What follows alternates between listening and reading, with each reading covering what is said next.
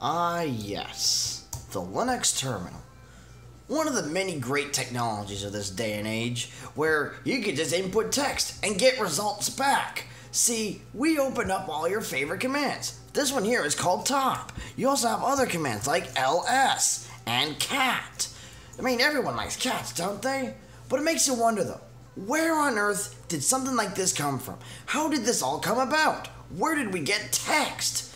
Well, there used to be this thing back in the day called a dumb terminal.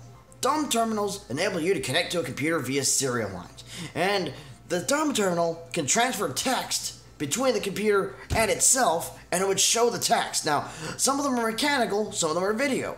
Now, you could call them dumb terminals or text terminals, but a lot of times, though, they came with a microprocessor, which made them kind of a computer in of itself. But their only main purpose was to serve one function display text and report back text.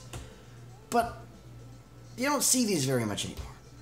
But that is the physical manifestation of the Linux terminal, and that is exactly what we have over here.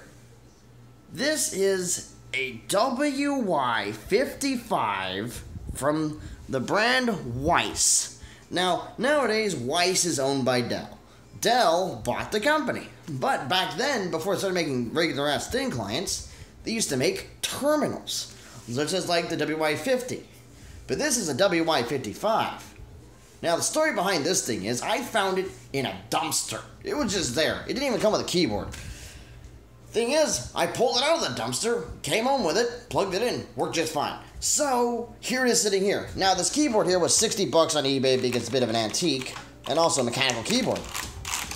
The thing is, is that I got a huge bargain. A complete set with with the terminal and the keyboard is like three hundred dollars on eBay. Just the terminal itself, hundred dollars. And most mechanical keyboards these days, especially if you look at the gaming sections at most stores, these things can like go for like over a hundred dollars. So I definitely say I got myself a pretty good bargain, especially considering the fact that this thing here specifically uses Cherry MX Blacks.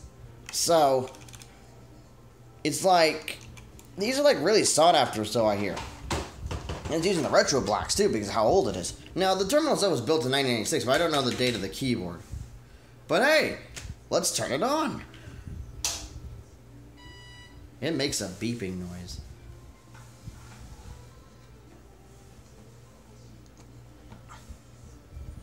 Should probably also remove that glare.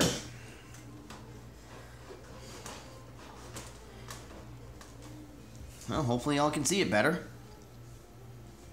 So anyway, now as you can see, it's blank right now. But the thing is, though, it doesn't have to be too blank. It can very well just be. It's still connected for sure. So to get it working, you have to press Control D, so that way Linux knows that there's somebody there. Now, here's the login screen. See? Now, the best way I can describe this is that this is green. Green is a good color. It helps you see better. You can even see it better at night. But that's besides the point. The point is is that we got text from a Ubuntu Linux system, which is sitting over here. So, what can you do with it? Well, just about everything else you can do with a Linux system. You can log in. I'm to type in this password real quick. One sec.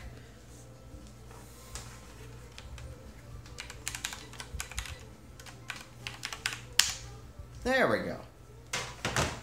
Now, as you can see, we've logged into a standard Linux system. Now you can type in your favorite commands like top and other various things like cat. If cat did anything. But anyway, it doesn't really matter.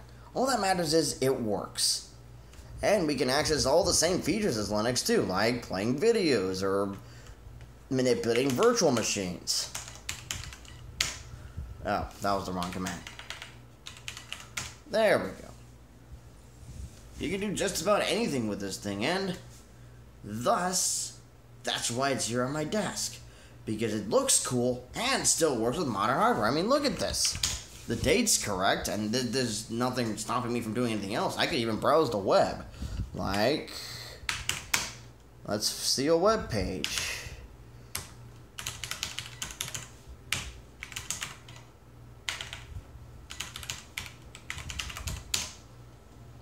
Oh, I can't load it. Well, nonetheless, though, it doesn't really matter. There we go. We can browse the web, talk to people, and things like that. So, there you have it. Fully functional terminal.